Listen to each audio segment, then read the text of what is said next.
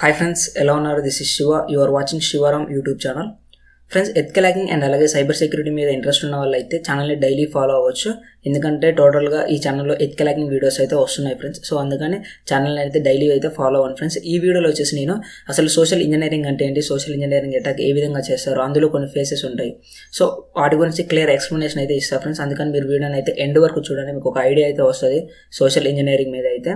So let start our video friends social engineering అనేది ఒక non technical attack అనమాట ఈ అటాక్ చేసేటప్పుడు మనం ఎటువంటి సాఫ్ట్వేర్ కానీ ఎటువంటి సిస్టమ్ ల్యాప్టాప్ కానీ యూజ్ చేయమంట మన మాటలతోటి మనం ఈ అటాక్ అనేది చేస్తాం అనమాట సో ఎట్లా అంటే ఇప్పుడు మనం ఒక హ్యూమన్ బ్రెయిన్ని మ్యానుపులేట్ చేసి ఇన్ఫర్మేషన్ గ్యాదర్ చేయడం అనమాట అంటే ఇప్పుడు ఇది అటాక్ ఎక్కడ జరుగుతుంది అంటే ఎక్కువ ట్రస్ట్ అనమాట ఎక్కడ ఎక్కువ ట్రస్ట్ ఉంటే అక్కడ ఈ అటాక్ అనేది జరుగుతుంది అనమాట అంటే ఎక్కడ నమ్మకం ఉంటే అక్కడ నమ్మక ద్రోహం జరుగుతుంది అనమాట సో ఇప్పుడు మనం ఏం చేస్తామంటే మన ఫ్రెండే కదా అని చెప్పేసి అందరికి ఇన్ఫర్మేషన్ షేర్ చేస్తుంటాం అనమాట ఇప్పుడు సపోజ్గా నేను ఒక అతన్ని టార్గెట్ పెట్టుకొని అతన్ని ఇన్ఫర్మేషన్ తెలుసుకోవాలి అందరికి పబ్లిష్ చేయాలనేది నా గోల్ అనమాట అటాకర్ గోల్ ఇన్ఫర్మేషన్ గ్యాదర్ చేయడం అనమాట సో నేను అతనితోటి రిలేషన్షిప్ స్టార్ట్ చేసి అతన్ని నమ్మించి అతని దగ్గర నుంచి ఇన్ఫర్మేషన్ గ్యాదర్ చేస్తాను అనమాట గ్యాదర్ చేసి నేను రివీల్ చేస్తాను బయటికి.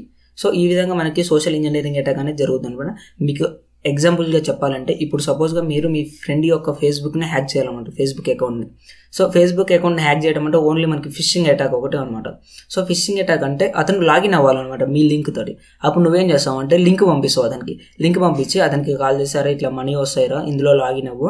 ఈ ఫేస్బుక్తో లాగిన్ అవుతే నీకు మనీ వస్తాయని ఏదో ఏదో విధంగా చెప్పి అతన్ని కన్విన్స్ చేస్తాం అనమాట అంటే అతని బ్రెయిన్ మ్యానిపులేట్ చేసి నమ్మిస్తాం అనమాట నమ్మించినప్పుడు అతను ఎప్పుడే అందులో లాగిన్ అయిపోతాడు నీకు ఈమెయిల్ పాస్వర్డ్ వచ్చేస్తుంది అనమాట లైవ్ ఎగ్జాంపుల్ అయితే ఇది ఫ్రెండ్స్ ఫ్రెండ్స్ ఇందులో కొన్ని ఫేసెస్ అయితే ఉంటాయి ఫ్రెండ్స్. అందులో ఫస్ట్ ఫేస్ వచ్చేసి టార్గెట్ అనమాట ఇప్పుడు మనం ఒక వ్యక్తిని టార్గెట్గా పెట్టుకున్నాం. ఫస్ట్ ఫేస్లో సెట్ ఫస్ట్ ఫేస్లో మన టార్గెట్ని సెట్ చేసుకున్నాం అనమాట సెకండ్ ఫేస్ వచ్చేసి రీసెర్చ్ అనమాట అతని గురించి టోటల్గా మనం రీసెర్చ్ చేసాం.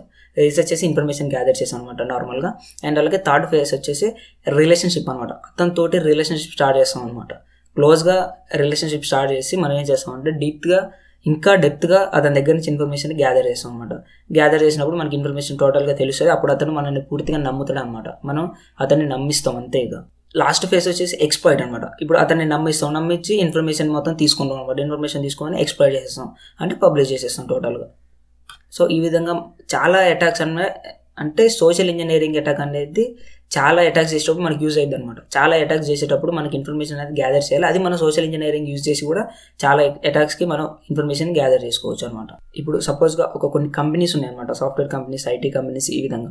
సో ఒక సాఫ్ట్వేర్ కంపెనీలో ఒక ఎంప్లాయ్ అనేది జాయిన్ అవుతుండు అంటే అతనికి పక్కా ట్రైనింగ్ అనేది ఇస్తారనమాట ఆ ట్రైనింగ్ ప్రొవైడ్ చేసినప్పుడు అందులో మ్యాక్సిమం ఎక్కువ మనకైతే సోషల్ ఇంజనీరింగ్ గురించి చెప్తారనమాట ఎందుకంటే మనం ఒక కంపెనీ గురించి ఇన్ఫర్మేషన్ గ్యాదర్ చేయాలి అంటే మనం అందులో ఉన్న ఎంప్లాయీస్ గురించి అంటే డైరెక్ట్గా అందులో ఉన్న ఎంప్లాయీస్ని కాంటాక్ట్ అయితే మనం ఇన్ఫర్మేషన్ అనేది ఏ విధంగా ఎక్కువ గ్యాదర్ చేసుకోవచ్చు అనమాట అందుకని ఆ ఎంప్లాయీస్కి ట్రైనింగ్ ఇస్తారు అనమాట ఈ విధంగా ఇన్ఫర్మేషన్ గ్యాదర్ చేస్తుంటారు ఈ విధంగా సోషల్ ఇంజనీరింగ్ అటాక్స్ అనేవి జరుగుతుంటాయి కంపెనీస్ మీద.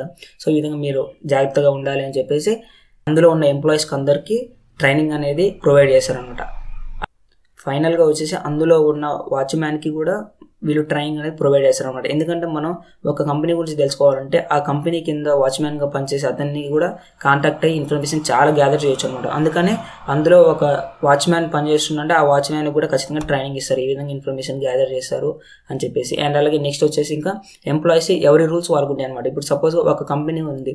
ఆ కంపెనీలోనే సర్వర్స్ ఉన్నాయి అనమాట అయితే సర్వర్స్ని మెయింటైన్ చేసేందుకు ఒక ఎంప్లాయీ ఉంటుంది అనమాట ఓన్లీ ఆ ఎంప్లాయీకి ఆ సర్వర్స్ రూమ్లోకి వెళ్ళడానికి అది పర్మిషన్ అనేది ఉంటుంది అనమాట వేరే ఎంప్లాయీస్కి ఎవరికి ఉండదు అనమాట మళ్ళీ ఆ ఎంప్లాయీకి కొన్ని రూల్స్ ఉంటాయి అనమాట అన్నోన్ నెంబర్స్ నుంచి కాల్స్ వస్తే ఎత్తొద్దు అండ్ అలాగే అంటే అన్నోన్ నెంబర్స్ నుంచి కాల్స్ వస్తే లిఫ్ట్ చేయొద్దు అండ్ అలాగే వేరే ఎంప్లాయీస్తో కాంటాక్ట్ అవ్వద్దు డ్యూటీ టైంలో అతని వరకు అతనే చేయాలి. ఇట్లా చాలా రూల్స్ అయితే ఉంటాయి అనమాట ఎందుకంటే ఆ రూల్స్ పాటించకపోతే ఇన్ఫర్మేషన్ అనేది లీక్ అయ్యే ఛాన్సెస్ ఉంటాయి. సో సోషల్ ఇంజనీరింగ్ అటాక్ జరిగే ఛాన్సెస్ ఉంటాయని చెప్పేసి కంపెనీ వాళ్ళు ఈ విధంగా మనకి రూల్స్ రూల్స్ అండ్ రెగ్యులేషన్స్ అయితే పెడుతుంటారు ఫ్రెండ్స్.